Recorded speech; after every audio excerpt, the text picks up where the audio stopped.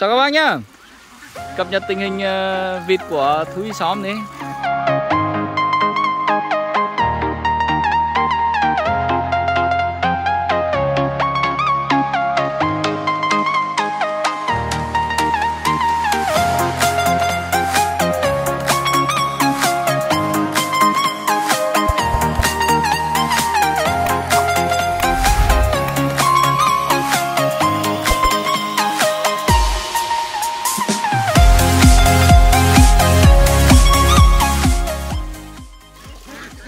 Đây hôm nay bán uh, gần hết rồi. Còn khoảng bao nhiêu con anh?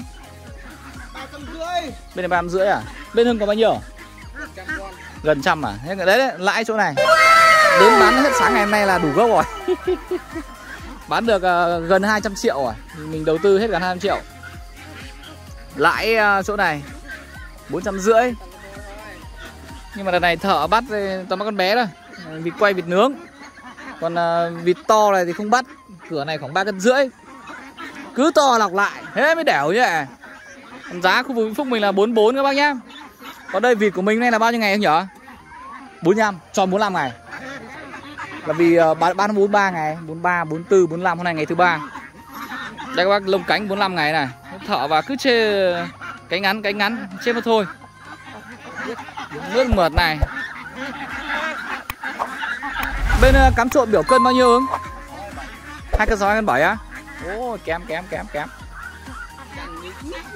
Chằn như xít. Bên này biểu cân bao nhiêu anh? Ba cân ba cân một à? Bọn này to hơn đúng không?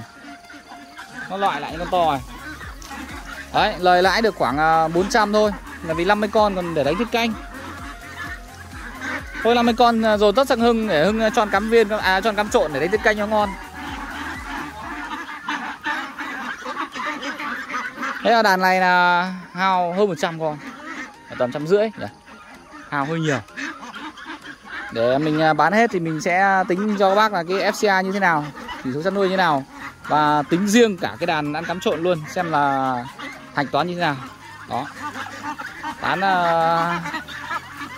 2.300 2.300 vịt thì bán được hơn 2.001 con Chết mất khoảng à, trăm rưỡi hơn trăm rưỡi con. Nhưng mà đa phần thì chết lúc nhỏ đó các bạn chết lúc nhỏ thôi nên là cũng không ảnh hưởng nhiều. Lớn lên thì cũng chết nhưng mà chỉ chết do lật này do chó cắn này do thời tiết này. Đó. À đấy còn ờ, đấy là tính ờ, dư cả ba chục bao rồi. Nó không ăn hết cám. Mình bán rất là sớm các nhá. 42 42 ngày là gọi thợ bán 43 ngày bắt đầu bán rồi đến uh, bán 43 44 hôm nay là 45 ngày đây nó, nó loại lại toàn con to ấy. bình thường cái loại giật dẹo bây giờ loại lại con to ấy. Đấy, đang đợi thợ bắt nốt để anh em mình tính toán lời lãi như nào thì còn chưa. Nhưng cũng may mắn là là đủ gốc rồi. Đủ gốc dư gốc một xíu. Thì còn lời được khoảng hơn 400 con này các bác. Trung bình một con vịt thì khoảng à, vịt to như này thì khoảng tầm 130 000 một con. Nhưng mà chưa bán hết thì chưa hạch toán được. Các bác đợi mình hạch toán nhé mình sẽ hạch toán hai đàn à, đàn ăn cám viên này và hạch toán đàn ăn cám trộn của hưng gà. Đó xem như thế nào. Rồi chào các bác nhá.